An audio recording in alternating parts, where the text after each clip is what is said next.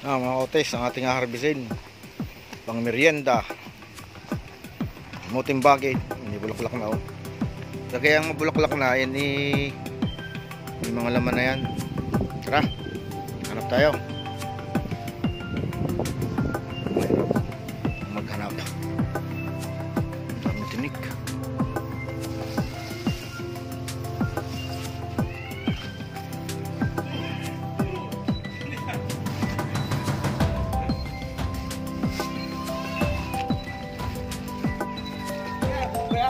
Te, harvest kamote.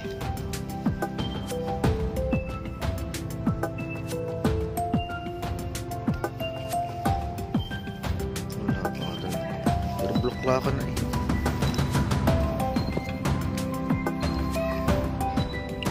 Talaga ang bulaklakan. Yun. Lambot to. Nasa buhangin kasi siya. Okay.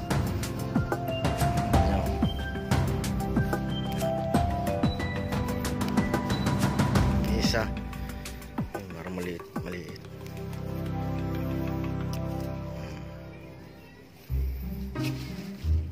Yan, ugat oh.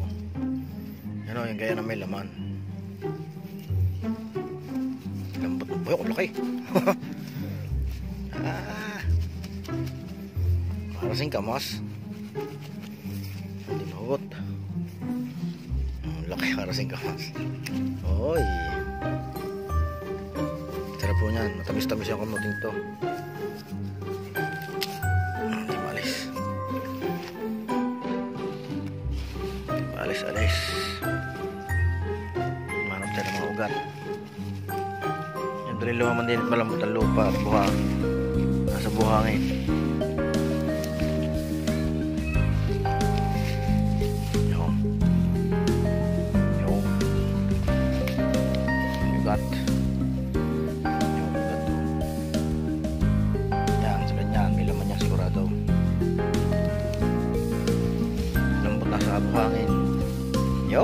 Na.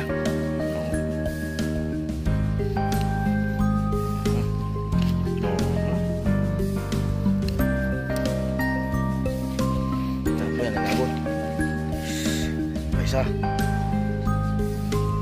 Oh, okay. Ay, oh. Ayos na ayos.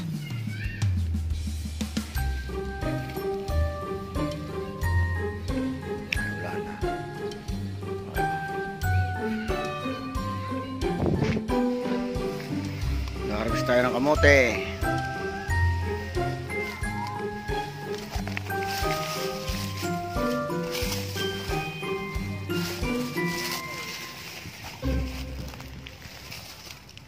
Slit na siya oh.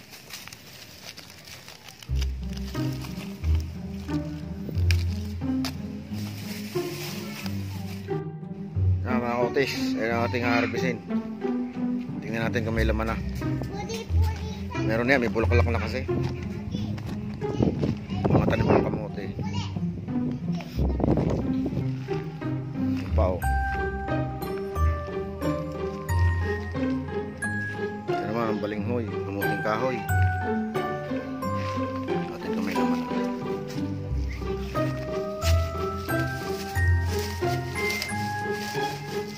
Meron na siya oh, maliliit pa. Oh. Maliliit pa. Ito ang aking luya.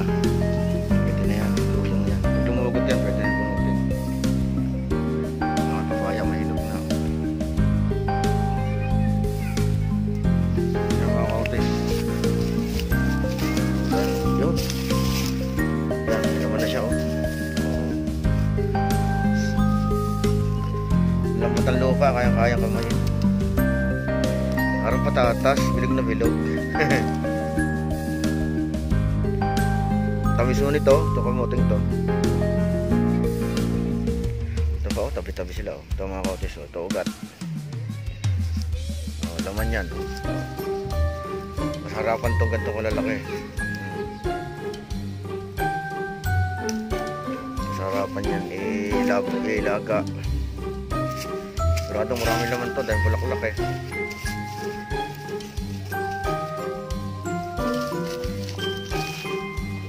Kinakamay lang oh. Yung meron din eh. Sarap to ilabon tungkol ng malalaki.